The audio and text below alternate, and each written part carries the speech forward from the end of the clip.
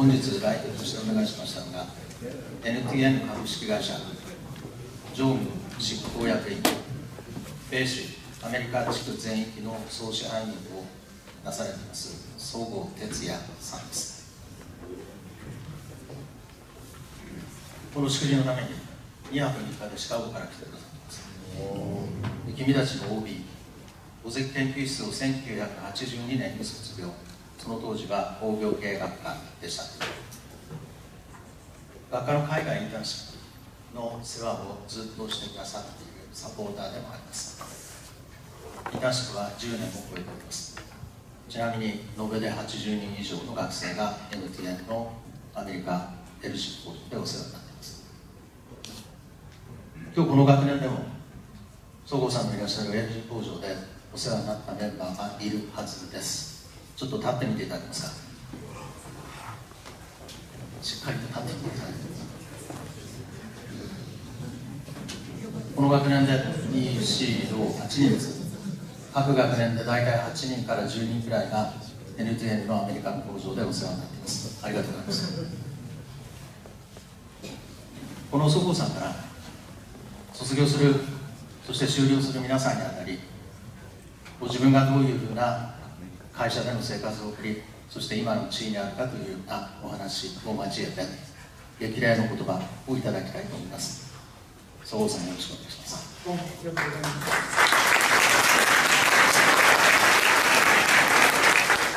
今日はあのきちっと時間通り終わるように文章を書きましたのでそれをスタッとお話したいと思い。ます話を聞いてくださいご卒業おめでとうございます。1982年卒の総合です。私もこうしてここに、えー、迎えていただけたことを非常に嬉しくまた誇らしく感じています。私は NTN というベアリングをはじめとする自動車部品や産業機械用の部品の製造販売する会社に勤めております。今はあの石本先生のご紹介通り米州地区を担当してシカゴで、えー、勤務しております。早稲田大学の工場実習生毎年我々の工場に来て、えー、実習をしていただいておりますが毎日ハードな実習にもかかわらず実習生の皆様の瞳を輝かせて課題解決に取り組んでおります。なぜそんな楽しそうに仕事してるのかなと思いますと考えて考えてみますと、まあ、若いからということもあるでしょうがやはりあの自分の知識スキルを生かして問題を解決するということが楽しいんです私はこれがエンジニアリングの原点でありこういうフレッシュな考え方を忘れてはいけないんだなと最近つくづく感じております。本日は20分程度の時間をいただいて皆さんが学んだ経営システム工学と私との関わりそして大学卒業後グローバル化の流れの中で私が学んできたこと。最後に先輩の端くれとしてこれから社会に出る皆さんに伝えたい。この3点についてお話ししたいと思います。まず最初に経営システム工学と私と私との関わりというテーマで経営システム工学にはロマンがあるという話をしたいと思います。なぜ私が早稲田の理工学部工業経営学当時工業経営学だったんですけどそこで学んだかと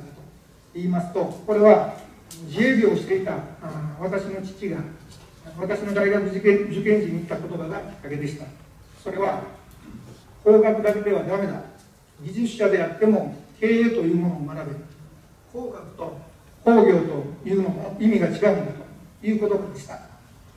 父が言うには数学物理科学といった難しいことを理解する頭の良い人間が理工系ににもかかわらず実際に会社の社長と組織のトップになるのはそういうシャープな頭脳を持った理工系の人間ではなく圧倒的に文化系の人間が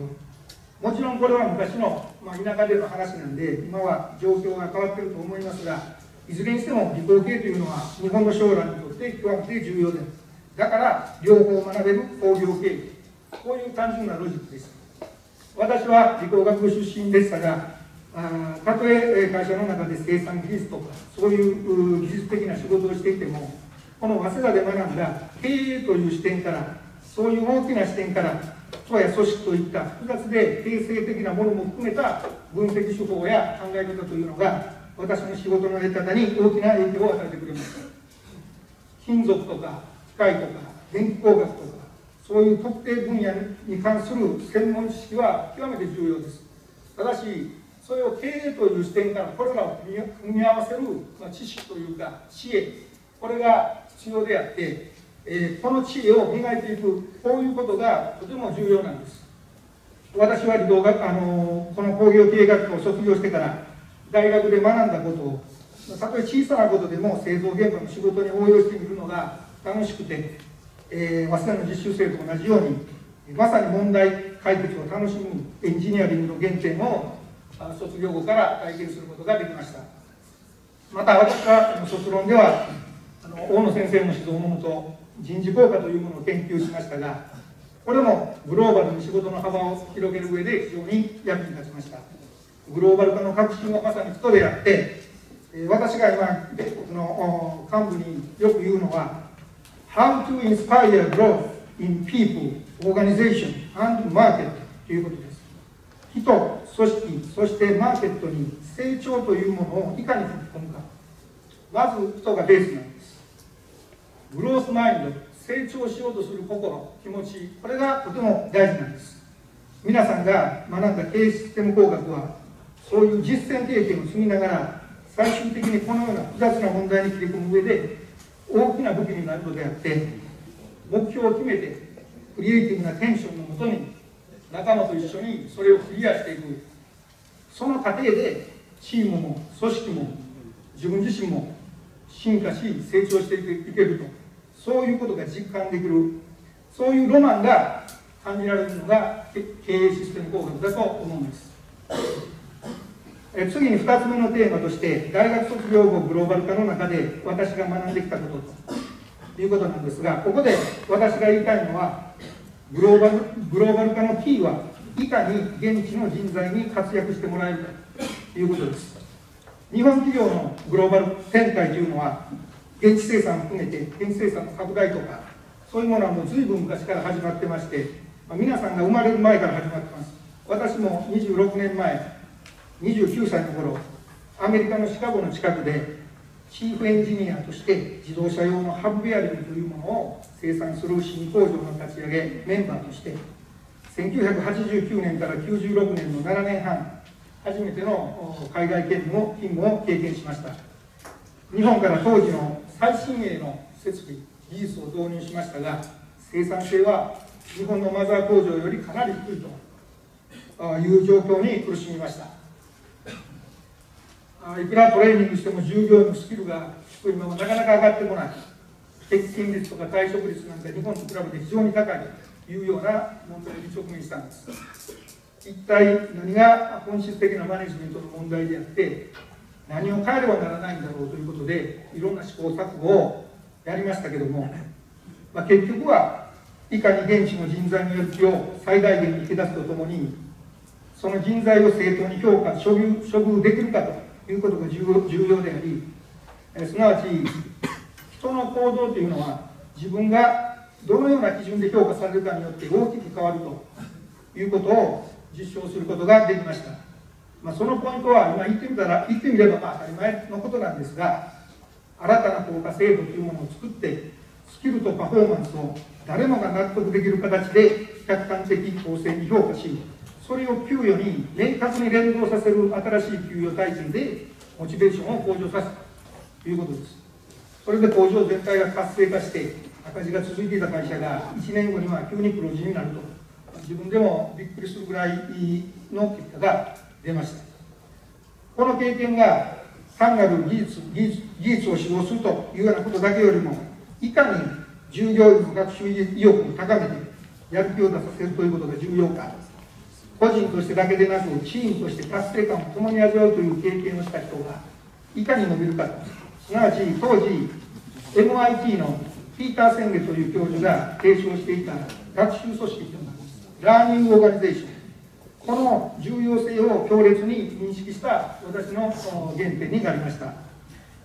こういう新しいシステムを作るにあたってそれを現場で適用していくにあたってえー、当時、まあ、工場というのは一部、二部、三部、今でもそうですけど、3交代勤務で24時間動いてるでそういう朝昼夜中にその従業員、当時この工場で400人ぐらいの従業員がいたんですけども、それをグループに分けて、もうすべての従業員と、どうしてこういうことをやるんだと、何をやりたいんだということを徹底的に説明議論しました。でそれでもうよく全員の疑問とか質問とか、それにもうすべて答えるというようなことをやろうとしてやりました。それはまあまだまだ当時は若くて体力からがあったからできたことですがこういう徹底的な対話がやっぱりその後の成果に大きく結びつくキーだったと思ってます。何らかの変革を皆さんにこれからやろうとするときには特に海外アメリカでもそうですがやっぱり流暢な英語よりも人の心を動かす英語が必要なんです。それはオープンな心とそういう変革への情熱な情熱なくしてどんなに英語が上手でも全く意味がないと思います。英語力よりもぶつかっていくということが大事だということを学びました。人の感情というのは難しいです。特にあの工場なんかはアメリカ人といってもいろいろです。アメリカで生まれてアメリカで教育を受けた人ばかりじゃない。メキシコから来た人中国インドロシアエチオピアベトナムとそれこそまあいろんな国の人が一緒に働いていました。したがって日本のようにあうんの呼吸というものは通じない。例えば日本では私なんかも小学校の頃から学校の先生に相手の立場に立って考えなさい。自分が相手だったらどう思うかを考えなさいとかよく言われましたけどもこれそもそも生まれ育った環境とか考え方しかも法律までが違う場合こういう方法は有効ではないと思います自分がこう思うから相手も同じように感じるだろうという考えはむしろ危険なんです。アメリカなんかにおいては特に年齢差別の問題等は日本人にとって特に注意が必要なんです、えー、当時はあの米国の製造現場でこういういろんな試行錯誤をやりながら同時にアメリカ流のマネジメントを体系的に学びたくて1994年から96年の2年間仕事をしながら週末にノースウェスタン大学で MBA の勉強をしました。それは新しい世界を見るという体験ができるということ。で会社以外のところで、えー、勝負するチャンスでもあった。それとあの別の世界で、えー、仲間を作っていろいろ議論できたというようなことが非常に良い経験だと思います。あの技術者の私にとって特に戦略論とかファイナンスであるとかマーケティング非常に新鮮で目から鱗という経験をしました。あのここの入学式がちょっと面白かったんで紹介しますけども入学の面接っていうのがありましてこれは一流補欠のようなエグゼクティブ MBA 専用の校舎でインタビューをしました。でそこへ行ったらあのエレベーターに乗ってくださいってエレベーターに乗ってアシスタントディーンと書かれたオフィスに通されそこであのエリカさんという女性に迎えられました。最初は秘書の方かなと思ってるんですがこの人がアシスタントでいいですこの 私はあの、えー、試験官が何人かいて、えー、その前私が座らされていろんな質問をされるんだろうということを勝手に想像していたんですけども行ってると豪華な応接室に通されてコーヒーにしますか紅茶にしますか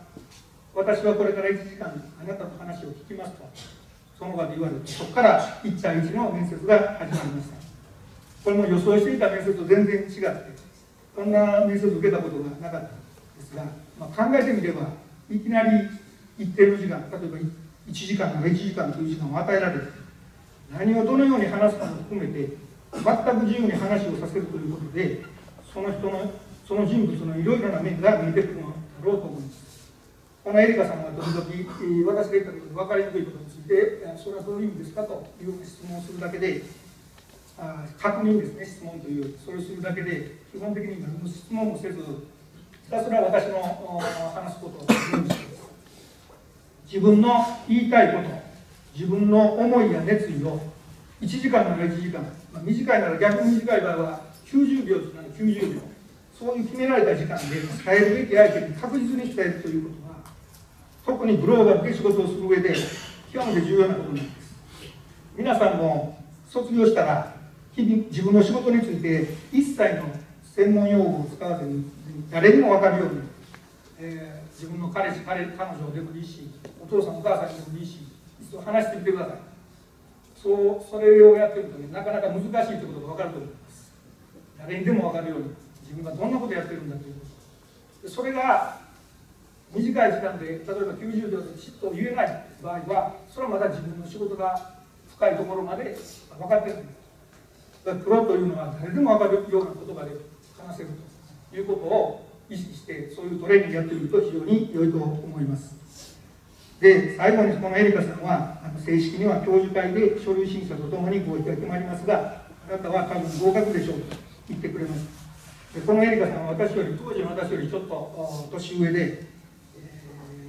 非常に長身のさっそうとした女性でした。で、えー、そういうことでこのエグゼクティブ MBA の入学の直前に私長女が生まれたんですけど長女の名前をエリカとしました。でそのエリカも今年この春成人式を迎えましたんで随分昔の話なんですけど今でもこの面接っていうのは強烈に印象に残っています。でここのノースウェスタンの MBA を卒業して1996年に日本に帰ってきたのは2011年の2回目の渡米までのこの15年間今度は本社の経営画部で中期経営計画の策定というようなことと、えー、あと特に力を入れてたのはグローバルアライアンスとかクロスボーダーの M&A こういうことに集中的に取り組み取り組みました。特に、えー、私はあの欧州やアジアの中心に飛び回っていろいろな戦略的アライアンス実現を目指して、えー、検討交渉に没頭してました。だからこの15年間というのもあっという間の15年間でした。で今2度目の米国赴任中ですが、まあ、特にこの経営という視点から正解のわからない経営ということという判断を今南米も含めた米州地区全体の細かいところまで一人の人間が分かるわけですけどその中で自分が判断していかなければならないというような状況に置かれている私にとってやっぱりこの言葉では表しにくい組織の状況とか雰囲気とかそういうものをいろんな交流の中から感じ取る能力が非常に重要だと思っています。今私のところに上がってくる課題であるとか問題とかっていうのはコンピューターのように論理的にこう分析して分かるようなそういう問題は上がってこない。もう訳のわからない、まあ、組織とかヒューマンリソースとかそういう問題が多いんですけどもその場その場で総合的に見てどう判断するのがいいのかという判断を迅速にしていくということが求められています。だからそういう問題の本質を的確に感じ取る能力とかセンスとかこういうのをずっと卒業してからも意識して磨いていこうというようにしていただけると非常に良いと思います。特にフェイス2フェイスのコミュニケーションというのが非常に重要だと思っています。特にあの MBA の授業なんかでは戦略論とかマーケティングとかファイナンスとかそういう論理的な科目というのは人気があって名物教授も多くて誰もがこう気合い入れて学ぶんですけども一方で組織論とかヒューマンリソースとかそういうのはあまり人気ないんです、えー、だからあんまり何というかパッとしない、講義だったんですけどもでも実際に社会に出て皆さん年齢を重ねる重なるほど重ねるほどで自分自身が組織の中で上に行けば行くほどそういう組織論とかヒューマンリソースとかいうものが大事になってきます。だからなんかじわじわ重要性を増してくるの。であると思います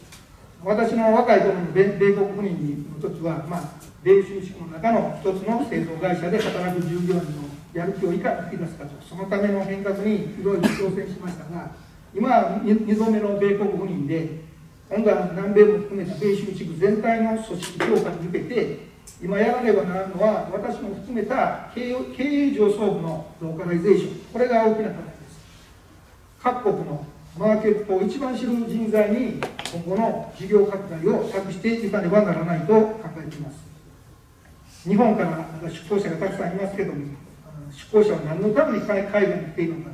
なぜローカルで対応できないのかということを明確にしていく必要があるんです、えー、日本人同士のやり取りというのは非常に楽なんです。居心地がいいです。日本人同士の会話とか日本人同士で仕事をしているっていうのはものすごく楽それに比べて現地化っていうのはもうその何倍も疲れる言葉の問題だけでなくものすごく疲れる。んでもこれをやらねば将来はないと。いう認識で頑張っています。まあ、現状のまだまだこの米州地区においても成長が期待できますので、まあ、現状5000人弱従業員で、あ、2000億円ぐらい商売してこれを3000億4000億と市場を開拓して上げて伸ばしていくためには現地人現地化による組織強化が必要なんです。これはもう日本人では無理なんです。そういうことで私はグローバル化とは現地の優秀な人材をモチベートして存分に実力を発揮してもらうことが基本。とこういう信念はもう最初米国赴任した時から全く変わっていません、そして私が作りたい組織っていうのは人と人との部門を超えた密接な密接な情報交換をベースにクロスファンクションで効果的に機能できるブラインドスポットの発生しない緻密な組織。それは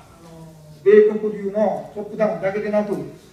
日本が強いと言われるミドルアップダウンマネジメントこれをいかに融合して米国で実現するかと。こういう目標で今でも試行錯誤を続けています。最後に3つ目のテーマこれから社会に出る皆さんに先輩として伝えたいというテーマでここであの私が言いたいのは大学卒業したら実際に行動してみてこれ初めて学ぶことができるということです早稲田の先輩というのは個性的ですごい先輩が多いですでまああの岸先生も最初におっしゃってましたけども卒業生のブランドバリューが高いそういう中で皆さんは社会人1年生として雲の上を歩くような不安な感覚の中で大きなプレッシャーを受けると思います。まこれは誰しもたどる道ですが、皆さんには初めから周りの期待に十分応えていただきたいと思います。最初からスタートダッシュをかけていただきたいと思います。そのためには、卒業したら勉強のやり方を変え変えなければならない。もう今、学校のテスト、そういうものはないんですから、これから実際に行動してみて、初めて学ぶことができる何をするべきなのかというようなことばかりあまり考えすぎない方がいいと思います。皆さんがそれぞれ進まれる道においてまず理屈よりもとにかく夢中になること。それがなければ何も始まりません。とにかく問題解決するのが楽しいというような社会人生活のスタートが理想だと思います。小さなことでも結果を出してそしてさらに大きな仕事を任されるとこういう繰り返しなんです。そういう人の周りには人が集まるようになってきます。マネージャーというのは会社が決めるものですがリーダーというのはそういう求心力がある人で何もマネージャーである必要はないんです。リーダーというのは周りが決めるんです、えー、日本企業のグローバル化に不可欠なのはそういうリーダー。で私が今目指している米州でのローカライゼーションということにおいても自分がボロボロになってでも組織を引っ張っていけると。そういうリーダーが必要なんです。マネージャーの地位すなわちそのポジションのパワーがないと何もできないポジションのパワーだけで生きているというような従来のマネージャーはもう不要なんですだから岸先生も皆さんリーダーになれというのはそういう意味なんです。組織た組織や人は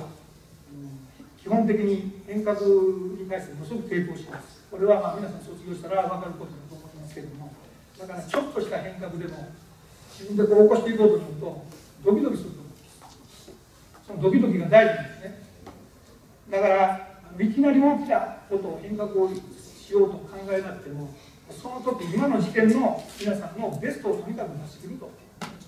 でベストを出し切って今の課題を解決していくとそれをずっと一歩一歩地道にやっていくとこれしかないと思いますそういう形で常に目の前の課題解決に夢中になって挑戦していくことが大事だと思います。皆さんはそういう夢中に取り組む姿勢の中で徐々にグローバルな社会の中で必要な徐々にたくましい自分自身の思想経験からつかみ取った自分だけの基軸とそういうものの確立された技術者になっていただきたいと期待しています。あのどこの国に行ってもわけのわからないところから進むべき方向を決めていくのがリーダーでありそれを論理だけでやると嫌われますから特に優秀な皆さんはその点を注意してください。その点気をつけないといけないと思います。私もあの長い間あのまあ、会社の中枢と思われるような経営企画で経営企画部長というような形で中期経営計画を策定してそれをフォローしたりという仕事をしていましたけどそういう経営企画部というのがなぜ他の部門から嫌われるか嫌われることが多いんです。それはなぜかというとあの理屈ばっかり言って自分では動かんと思われがちだからです。だからそういうことのないようにしなきゃいけない。人が頭で理解して、えー、ついてくるようになる。ここで理解してついてくるようになる。ここで腹で納得してついてくる。というようにしないと本当のリーダーシップというのはなかなか発揮できないそういう形をしていくためにあの卒業したら理屈の正しさだけでなく基本的に誰もが理解できる通り話し方で話すこと。そして周りの人のやる気を大事にしてください。学校と違ってこれからは自分だけがその正解を知っててもこれ何の意味もないです。やってみないとわからない。それが正解かどうかもやってみないとわからない。いうことなんです。あのアメリカの昔の哲学者でオリソン・マーベルという人がこういうことを言っています。Don't wait for extraordinary opportunities. Seize common occasions and make them great.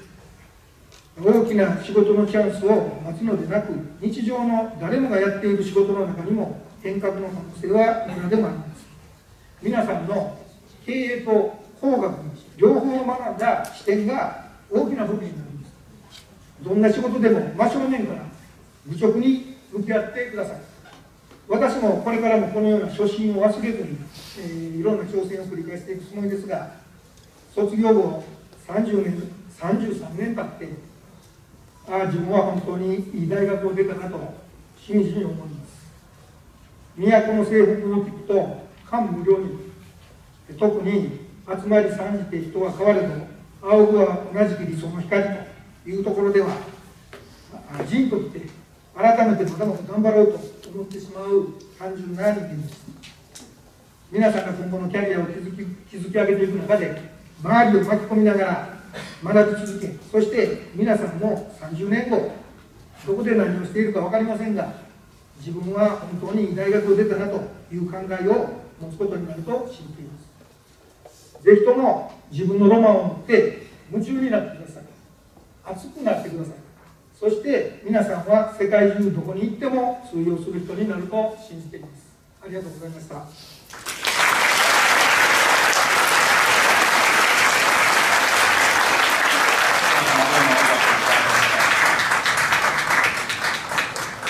しい中どういところ